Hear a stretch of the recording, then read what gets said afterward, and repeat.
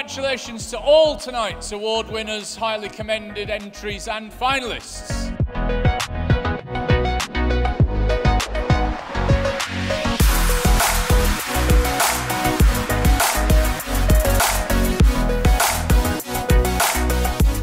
The winner of the IChemE Business Startup Award, sponsored by Bouygues Energies and Services, is Green Lizard Technologies.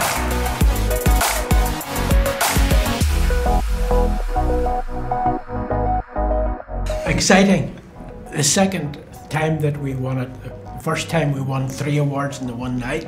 Tonight we have won another one and we could not believe that we would win tonight. We came expecting to fail, but we won. Well, chemical engineering matters to us a lot because we're a university spin-out company. And one of the things that we, we find in all of our areas in green chemistry is the discipline of chemical engineering combined with chemistry is really a unique feature that takes us forward. So every single one of our products and processes is built around chemical engineering. So our recent successes, everyone is worried about plastics. So we're the only group in, I think, in the world that can actually offer technology to develop plastics recycling as well as polyester recycling. And all of them are with international partnerships. So we build, we've already built and operate a, a 30,000 tonne plant in Atlanta for converting waste plastics into waxes and fuels.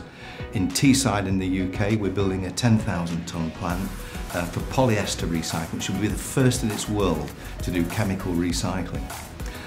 Our, our vision is very simple, to create a really unique space in clean energy and sustainable technologies. And we've only been, we've only been established since 2015. And we've made remarkable progress in CO2 conversion, green chemistry and CO2. Um, we've made a lot of progress on waste from glycerol uh, to specialty epoxy. So we're focusing on trying to displace fuel, fossil fuels, with cleaner, with cleaner technologies.